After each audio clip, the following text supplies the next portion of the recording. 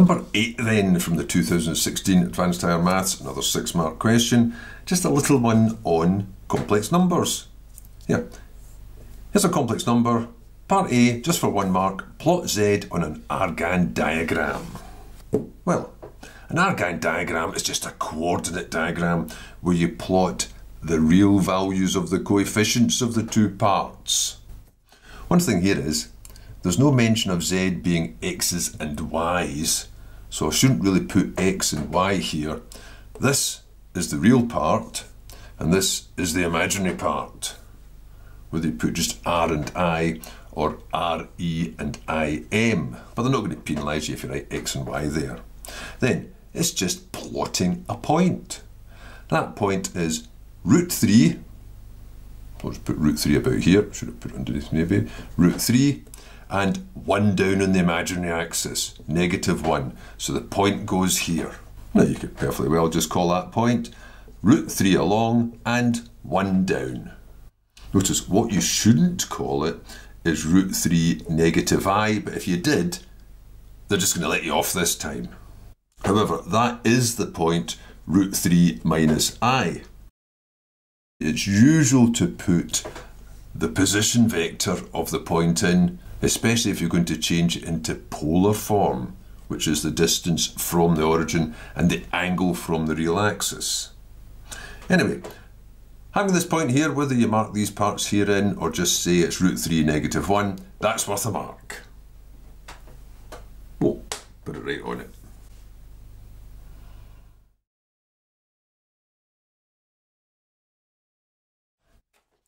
Now part B, let W be some multiple of that complex number, where that multiple is greater than zero. Write this in polar form. Well, first of all, what's z in polar form? Well, you recognise the triangle, you don't need to go through it all. I'll just pop that mark to the side now, because it was root 3 for that side, and it was 1 for this side, so it must have been 2 for that part.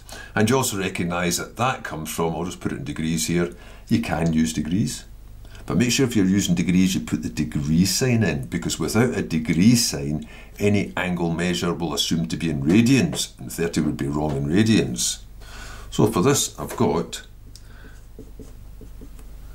the modulus of z is 2, and the argument of z is, that's a negative 30, but I think I'll write that as a negative pi upon 6, which means the length of this is just a times it, so the modulus of W will be 2a, but its argument will be exactly the same because all you've done is moved out in the same direction for a times the distance. I'll write it again here. Argument of W will again be negative pi upon 6. Getting that's worth a mark. And then you get the other mark just for writing it out. So what is W? It's going to be, well, it was 2a times, and then it's just cos negative pi upon 6 plus i sine negative pi upon 6. And that gets you the second mark.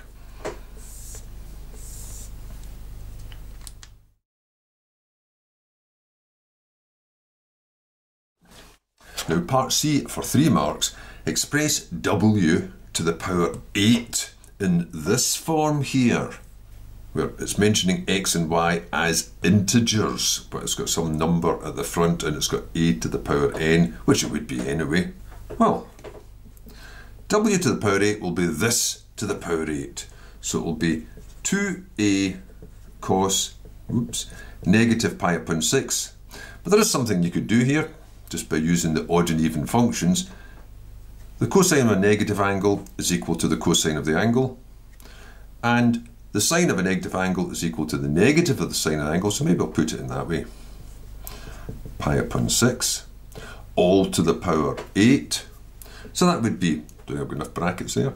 8 times, uh, sorry, this to the power 8, so that'll be 2 to the power 8, a to the power 8, times the cosine of 8 times this is 8 pi upon 6 minus i sine, and for that part again, it's going to be 8 pi upon 6. Oh, put a bracket in. Now, 2 to the power 8 is 256, so it's 256 a to the 8. And then these you just work out yourself. Well, actually, you could just put them into your calculator because it's a calculator exam. Or you could just think of it separately. That's 4 pi upon 3. 4 pi upon 3 puts you into this quadrant here. So it's going to be the negative of the cost of, and let's just change it to pounds, shillings and pence, the negative of the cost of 60. So that's negative a half. And similarly for this, the sign again is negative, but negative of that makes it plus i times, and the sine of 60 is root 3 upon 2. Well, you could take the 2 out in the denominator, dropping that down to 128, a to the 8, and that'll just be minus 1 plus root 3i, or rather, the way they've got it, i root 3. Now, it doesn't explicitly say stating the values of k, x, and y, so that should do it. Oh, sorry, and the marks were get the modulus, so that was just power 8, get the new argument, multiply the angle by 8, whether you left it in the original form or rearranged it, and then finally put it into the correct form. Now, an alternative to that would just be to go back to the Cartesian form, since the answer was in that Cartesian form, and just find power 8 of that. So that would have been a times root 3 minus i for w. So what's that to the power 8? Well, you could do a to the power 8 and then that bracket to the power 8 and use the big binomial expansion of that if you wished, but you shouldn't. Should have done it by the polar form anyway, using De Moivre's. Easier than that would just be to work up through the squares because it's it's a power of 2, power 8. So w squared would just be a squared times, then square this. So that's square the first, which is just 3, twice the product, that's minus 2 root 3i, square the last, which should be plus 1, but in this case, because it's an i, it'll be minus 1. So that means it becomes a squared times 2 minus 2 root 3i. That would get a mark. Then you can get step up from power 2 to power 4 by squaring this. So that will be a to the power 4 and then square this part. So that will be square the first, 4. Twice the product will be 8, so minus 8 root 3, let's put the i at the end. Square the last would normally be plus, but that i squared will make it minus, and that'll be 4 threes are 12. So that's a to the 4 times negative 8 minus 8 root 3i. That would be a mark, you're getting closer. And then finally for power 8, just square it again. But I think before I square it again, because of these numbers, I'll just take that 8 out and make it 8. a to the 4 times negative 1 minus root 3i. So finally, w to the power 4 would be squaring this, would be 64. And I should have written w to the power 8 there, of course. a to the 8, square the first, 1. Twice the product will be plus in this case, plus 2 root 3i.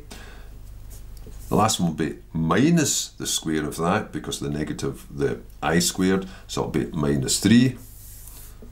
So that gives you negative 2 plus 2, taking the 2 out, 128 a to the 8 times just negative 1 plus root 3i or if they want it as i root 3, they can have it. That'd be the last mark. So obviously you should have done it using De Moivre's.